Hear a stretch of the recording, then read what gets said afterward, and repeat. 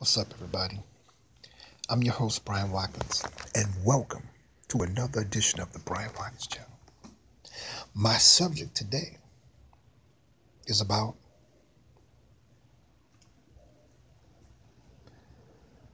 how to control the black woman in America.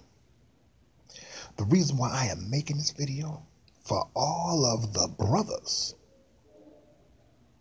that want to know how to do this successfully. Let's get started.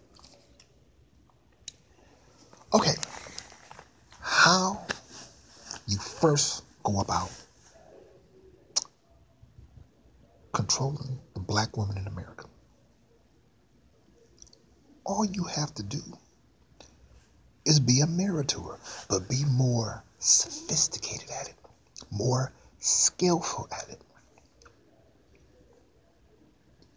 See, a lot of times, black women in America, they don't educate themselves well roundedly to be this persona of I'm strong, black, and independent. They leave a lot of loose ends untied in their lifestyle to be controlled by the black man in America. And one of the main ones just be a mirror to her.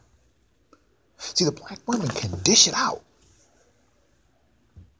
but uh, she's never trained herself, just in case,